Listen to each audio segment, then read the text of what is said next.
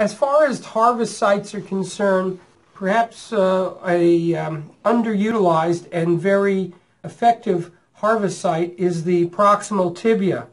Here we have a sawbones model in which um, the tibial tubercle is located here, and we have an indication of uh, cortical breaching that can be uh, performed just medial to the upper pole of the tibial tubercle to enter this rich metaphyseal repository of cancellous bone. It is about one to one and a half finger breadths below the palpable joint line, and you can see that if the trocar tip is placed in this area, you'll be able to access quite a bit of cancellous bone. The far cortex is very readily appreciated in all but osteoporotic uh, individuals as a distinct uh, and sudden increase in resistance when you're advancing the trephine, of course with the trocar tip off.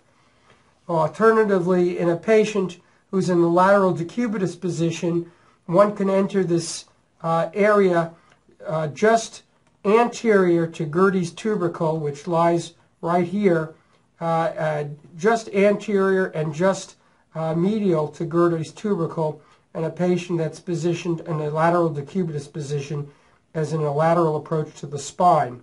This is, this is a slightly distal hole. I would enter more approximately, right approximately at the tip of my finger. And um, a uh, small amount of Gelfoam with Marcaine can be placed into these cortical defects after completion of harvesting, and then a uh, compression dressing with an ACE wrap I would uh, recommend for about 24 hours postoperatively to reduce any hematoma formation.